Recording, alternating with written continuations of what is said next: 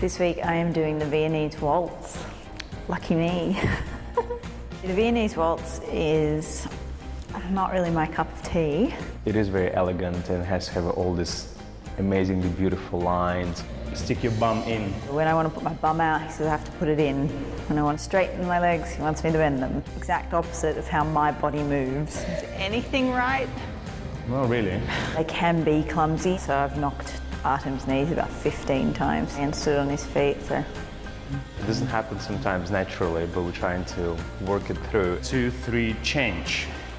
One. That's the change.